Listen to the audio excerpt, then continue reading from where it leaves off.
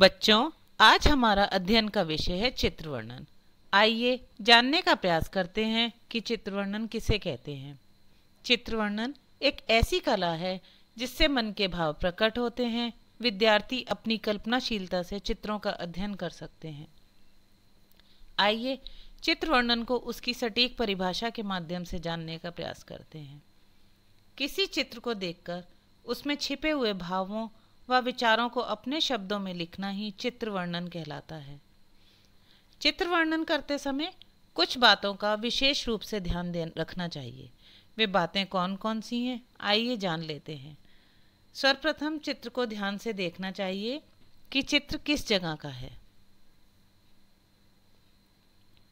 चित्र में देखना चाहिए कि कौन कौन दिखाई दे रहा है, एवं दिखाई देने वाले लोगों के चेहरे के भावों का चित्र के साथ संबंध समझने का प्रयास करना चाहिए।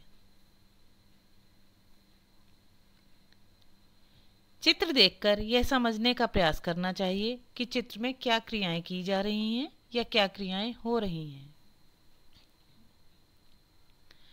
चित्र वर्णन क्रमबद्ध होना चाहिए, अर्थात वाक्य इस प्रकार लिखे जाने चाहिए कि एक दूसरे से संबंधित हों। चित्र वर्णन करते समय अत्यंत सचेत रहना चाहिए। चित्र वर्णन में व्यर्थ की बातों को शामिल नहीं करना चाहिए। व्यर्थ की बातों को वर्णन में शामिल करने से इसके प्रभाव में कमी आती है। चित्र वर्णन की भाषा सरल और स्पष्ट होनी चाहिए। चित्र में दिखाई देने वाली प्रत्येक वस्तु को चित्र वर्णन में अवश्य ही शामिल करना चाहिए।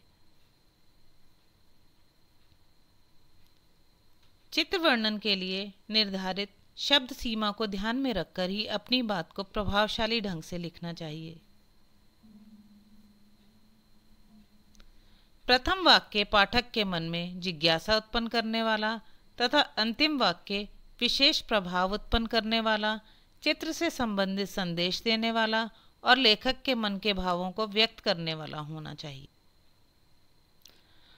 तो बच्चों, कहने का तात्पर्य यह है कि जब आपको चित्र वर्णन के लिए कोई चित्र दिया जाए तो पहले आप चित्र को ध्यान से देखें कि चित्र किस जगह का है।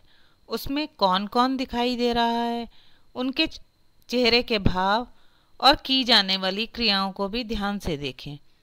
तत्पश्चात मन में आए हुए विचारों को क्रम से सरल, स्पष्ट और प्रभावशाली भाषा का प्रयोग करके लिखें।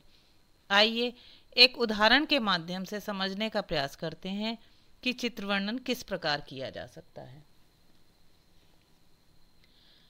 बच्चों, पहले हम चित्र को ध्यान से देखेंगे कि हमें इसमें क्या क्या दिखाई दे रहा है।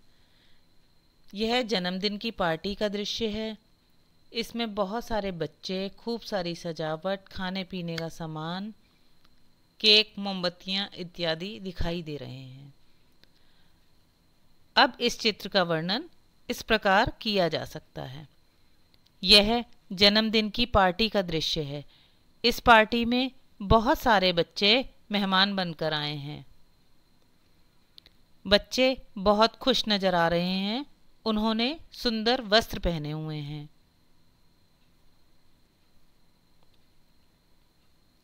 कक्ष की सजावट रंगीन गुब्बारों और झालरों से की गई है तथा दीवार पर हैप्पी बर्थडे लिखा हुआ है।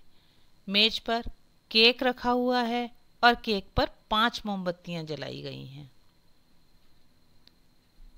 मेज पर बच्चों के खाने और पीने का सामान रखा है। सभी बच्चे मेज के चारों ओर खड़े हैं और उन्होंने सिर पर रंग बिरंगी तिकोनी टोपियाँ पहनी हुई हैं। बालिका मोमबत्तियों को फूक मारकर बुझा रही है। सभी बालक उत्साहपूर्वक केक को देख रहे हैं। अत्यंत आनंद पूर्वक जन्मोत्सव मनाया जा रहा है। तो बच्चों, आपने देखा कि किस प्रकार चित्र का वर्णन किया जा सकता है? आइए अब एक अभ्यास के द्वारा इसे समझ लेते हैं। सर्वप्रथम हम चित्र को ध्यान से देखेंगे। तत्पश्चात दिए गए शब्दों के माध्यम से क्रमबद्ध वाक्यों का निर्माण करेंगे। दिए गए शब्द हैं, चिड़ियाघर, शांतिपूर्ण प्राकृतिक वातावरण, सैर का आनंद लेते बच्चे पेड़ पौधे दुर्लभ जानवर, पानी में खेल रहे गेंडे, लोहे के पिंजरे में बंद शेर।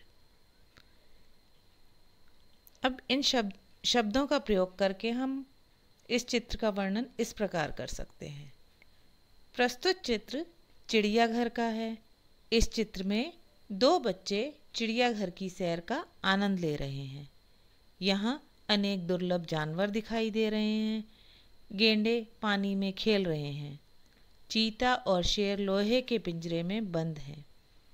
चिड़ियाघर में सभी जानवरों को शांतिपूर्ण, प्राकृतिक वातावरण में रखा गया है। इसलिए वे सभी शांत और खुश नज़र आ रहे हैं। चिड़ियाघर में बहुत हरियाली है। यहाँ अनेक पेड़ पौधे भी दिखाई दे रहे हैं। बच्चों चित्र वर्णन एक ऐसी कला है जिसे आप अभ्यास द्वारा बेहतर बना सकते हैं। मुझे आशा है कि अभ्यास द्वारा आप चित्रों का प्रभावशाली ढंग से वर्णन कर सकेंगे। धन्यवाद।